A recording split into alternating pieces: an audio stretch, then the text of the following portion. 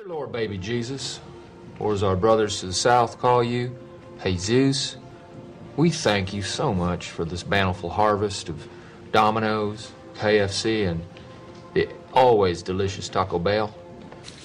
I like to picture Jesus in a tuxedo T-shirt because it says like, "I want to be formal, but I'm here to party too."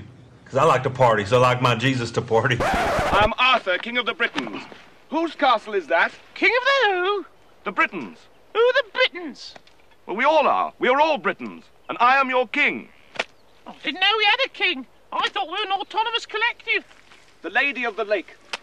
Her arm clad in the purest shimmering samite held aloft Excalibur from the bosom of the water. Oh, but you can't expect to wield supreme executive power just because some watery tart threw a sword at you.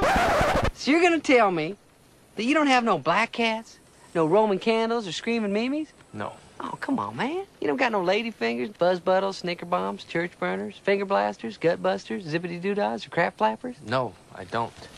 You're gonna stand there owning a fireworks stand and tell me you don't have no whistling bungholes, no spleen splitters, whisker biscuits, honky lighters, hoosker do's, hoosker don'ts, cherry bombs, nips nipsy dazers, with or without the scooter stick, or one single whistling kitty chaser?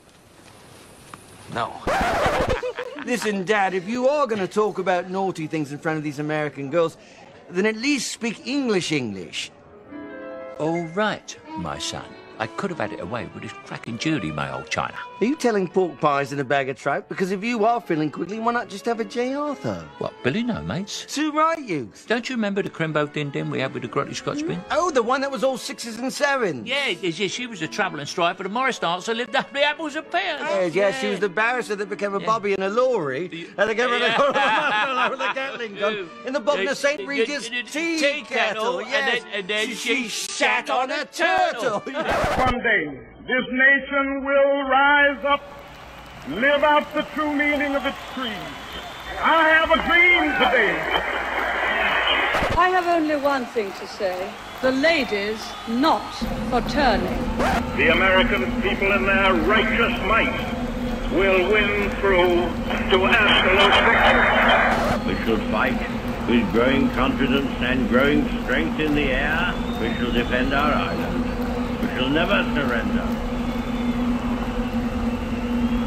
Ladies and gentlemen, let's get ready to rumble!